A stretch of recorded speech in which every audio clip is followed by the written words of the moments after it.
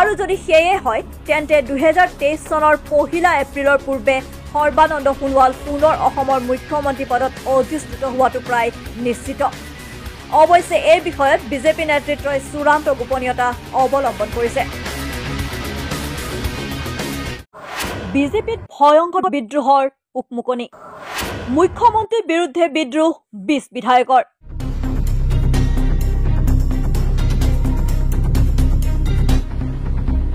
অসমৰ মুখ্যমন্ত্ৰী ডক্টৰ হিমন্ত বিশ্ব শৰ্মাক ৰাষ্ট্ৰীয় ৰাজনীতিলৈ নিয়াৰ বাবে পৰিকল্পনা কৰিছে বিজেপিৰ শীৰ্ষ নেতৃত্বই। তাৰ পৰিৱৰ্তে পুনৰ অসমৰ মুখ্যমন্ত্ৰী হিচাপে ৰাজ্যলৈ প্ৰেৰণ কৰিব বিচাৰিছে প্ৰাক্তন মুখ্যমন্ত্ৰী সৰ্বানন্দ সোণোৱালক। বিগত সময়ছোৱাত বিজেপিৰ ৰাজনৈতিক কৰ্মকাণ্ডত স্পষ্ট হৈ উঠিছে এই ধাৰণা। একে সময়তে প্ৰাক্তন মুখ্যমন্ত্ৰী সৰ্বানন্দ সোণোৱালেও ব্যাপক কৰি তুলিছে ৰাজনৈতিক তৎপৰতা। ৰাজ্যৰ বিভিন্ন প্ৰান্তত অনুষ্ঠিত কৰিছে সভা সমিতি। বিজেপিৰ এক শীৰ্ষ সূত্ৰই দাবী কৰা অনুসৰি আগন্তুক লোকসভা নিৰ্বাচনৰ পূৰ্বে অসমত সৰ্বানন্দ সোণোৱালক মুখ্যমন্ত্ৰী হিচাপে দায়িত্ব দিয়াৰ পূৰ্ণ সম্ভাৱনা আছে।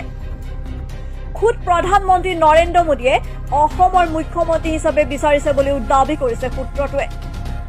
এই ৰাজনৈতিক তৎপৰতাৰ সমান্তৰালভাৱে বিজেপিৰ বিশগৰাকী বিধায়কে প্ৰাক্তন মুখ্যমন্ত্ৰী সৰ্বানন্দ সোণোৱালৰ পক্ষ লোৱা বুলিও জানিব পৰা গৈছে। যিগৰাকী বিধায়কে প্ৰাক্তন মুখ্যমন্ত্ৰী সৰ্বানন্দ সোণোৱালৰ পক্ষত চহী কৰি এক পত্ৰ প্ৰধানমন্ত্ৰী মোদীলৈ প্ৰেৰণ কৰা হৈছে বুলিও ৰাজ্যিক বিজেপিৰ এক সূত্ৰই দাবী কৰে। অৱশ্যে বিধায়ক কেইগৰাকীয়ে এই প্ৰসংগত আনুষ্ঠানিকভাৱে কোনো মন্তব্য প্ৰকাশ কৰা নাই। উল্লেখযোগ্য যে অসমত মুখ্যমন্ত্ৰী ডক্টৰ হিমন্ত বিশ্ব শৰ্মাই হিন্দুত্ববাদৰ প্ৰয়োগ সফল আৰু ব্যাপক কৰি তুলিছে। পৰিণতিত অসমসহ উত্তৰ পূৰ্বাঞ্চলত শক্তিশালী হৈ উঠিছে বিজেপিৰ ৰাজনৈতিক আৰু সাংগঠনিক স্থিতি। কিন্তু উগ্ৰ হিন্দুত্ববাদে অসন্তুষ্ট কৰি তুলিছে অসমত ভূমিপুত্ৰ আৰু জনগোষ্ঠীয় সমাজক। উগ্ৰ হিন্দুত্ববাদে শক্তিশালী কৰিছে বিজেপিক। উগ্ৰ হিন্দুত্ববাদত বিতুষ্ট হৈছে খিলঞ্জীয়া নাগৰিক হিমন্ত বিশ্বৰ বিকল্প সৰ্বানন্দ সোণোৱাল। অসমৰ খিলঞ্জীয়া নাগৰিকৰ প্ৰথম পচন্দ সৰ্বানন্দ সোণোৱাল। দুহেজাৰ চৌবিছৰ নিৰ্বাচনত খিলঞ্জীয়া নাগৰিকৰ সমৰ্থন লাগে বিজেপিক। মুখ্যমন্ত্ৰী ডক্টৰ হিমন্ত বিশ্ব শৰ্মাই অসমত উগ্ৰ হিন্দুত্ববাদৰ সফল প্ৰয়োগ ঘটাইছে। এয়া বিজেপিৰ বাবে এক সুখবৰ। কিন্তু ঠিক একে সময়তে বিতুষ্ট হৈছে অসমৰ খিলঞ্জীয়া নাগৰিক আৰু ভূমিপুত্ৰসকল গতিকে দুহেজাৰ চৌবিছৰ পূৰ্বে অসমৰ খিলঞ্জীয়া নাগৰিক আৰু ভূমিপুত্ৰসকলৰ বিশ্বাস আৰু আস্থা ঘূৰাই আনিবলৈ পৰিকল্পনা লৈছে বিজেপিৰ শীৰ্ষ নেতৃত্বই।